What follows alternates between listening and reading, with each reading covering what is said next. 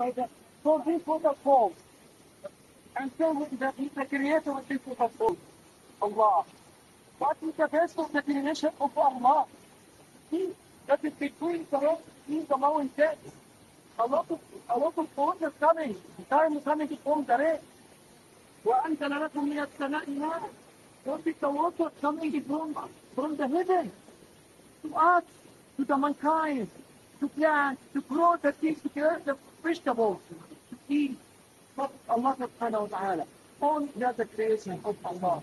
All that that creation of Allah. Come here and continue. Think by your mind. Allah, give your mind, not like the animals, to think in the creation. Then go to Allah, turn to Allah, and to believe in Allah, and to be obedient to Allah, and to then go to the Islam and to believe Allah. وأنزل لكم من السماء ماء فأنبتنا فأنبتنا به حدائق